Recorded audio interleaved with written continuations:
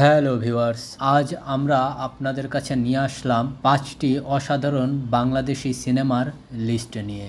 যেই সিনেমাগুলো দেখতে বসলে আপনাদের অসাধারণ একটি সময় পার হবে। তো চলুন দেরি না করে শুরু করা যাক। এই লিস্টের পাঁচ নম্বরে থাকা মুভিটির নাম হলো না বলো না। এটি একটি রোমান্টিক মুভি।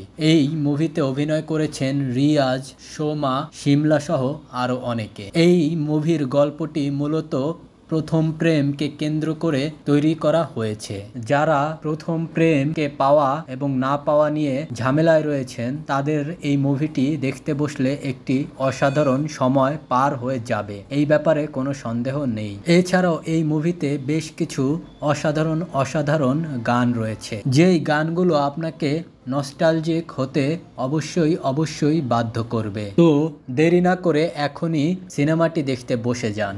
আর সিনেমা না দেখলেও গানগুলো তো অবশ্যই অবশ্যই রেকমেন্ড করব আপনাদের জন্য।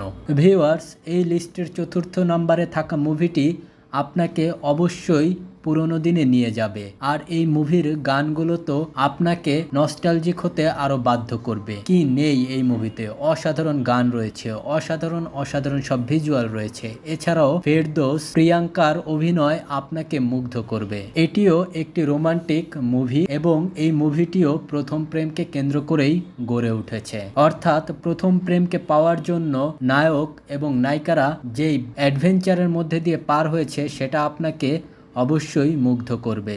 ভিউয়ার্স, এই লিস্টের তিন নম্বরে থাকা মুভিটি পরিচালনা করেছেন হুমায়ুন আহমেদ। মুভিটির নাম আগুনের পরশমণি। যেহেতু এটা হুমায়ুন আহমেদের পরিচালিত সিনেমা, সেহেতু নতুন করে আর কিছু বলার নেই। আপনারা জানেন হুমায়ুন আহমেদের গল্প এবং পরিচালনা দুটোই একদম ফাটাফাটি। এই মুভির গল্পটা মূলত উনিশশো একাত্তর সালের যুদ্ধকে কেন্দ্র করে গড়ে উঠেছে। এই সিনেমায় কাজ করেছেন বিপাশা হায়াত, আসাদুজ্জামান নূর, আবুল হায়াত ও ডলি জহরের মতো বাঘা বাঘা সব অভিনেতারা। এছাড়াও এই সিনেমায় হুমায়ুন আহমেদ আহমেদের মেয়ে শিলা আহমেদও কাজ করেছেন। দেরি না করে এখনই এখনই এই সিনেমাটি দেখতে বসে যান। একটি কথা না বললেই নয়, মুক্তিযুদ্ধ কেন্দ্রিক যত মুভি তৈরি হয়েছে, তার মধ্যে এই মুভিটি অবশ্যই অবশ্যই সেরার তালিকাদের মধ্যেই রয়েছে।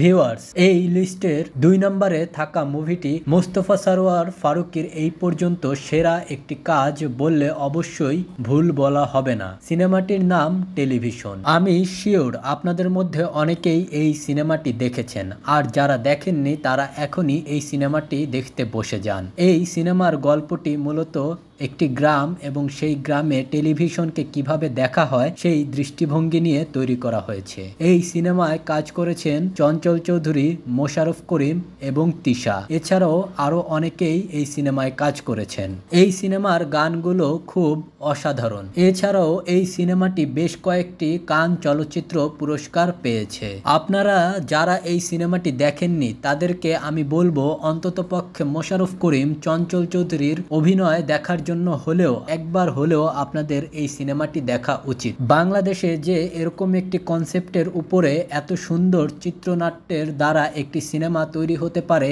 এটা নিয়ে আমরা খুবই গর্বিত হতেই পারি। তো ভিউয়ার্স, আপনারা দ্রুতই এই সিনেমাটি দেখতে বসে যান। আপনারা মোটেই হতাশ হবেন না বলে আমি গ্যারান্টি দিচ্ছি। ভিউয়ার্স, এই লিস্টের এক নম্বরে থাকা মুভিটি তো আমাদের সকলের ইয়াং বয়সের জন্য অবশ্যই একবার হলেও দেখা উচিত। বাংলাদেশে বন্ধু বান্ধব নিয়ে তৈরি হওয়া যত সিনেমা আছে, তার মধ্যে এই সিনেমাটি অন্যতম সেরা সিনেমা। এই সিনেমাটিও পরিচালনা করেছেন মোস্তফা সরোয়ার ফারুকি। এই মুহূর্তে একটি কথা না বললেই নয়, সেটি হচ্ছে মোস্তফা সরোয়ার ফারুকির মতো অন্য কোনো পরিচালক বাংলাদেশের দর্শকদের সাথে এতটা দারুণভাবে কানেক্টেড কখনোই হতে পারেনি, যতটা তিনি পেরেছেন। সিনেমার নাম ব্যাচেলর। এই সিনেমায় অভিনয় করেছেন শাবনুর ফেরদোস অপি করিম, জয়া আহসান হাসান মাসুদের মতো বাঘা বাঘা সব অভিনেতা। আর কি দারুণ অভিনয় করেছেন।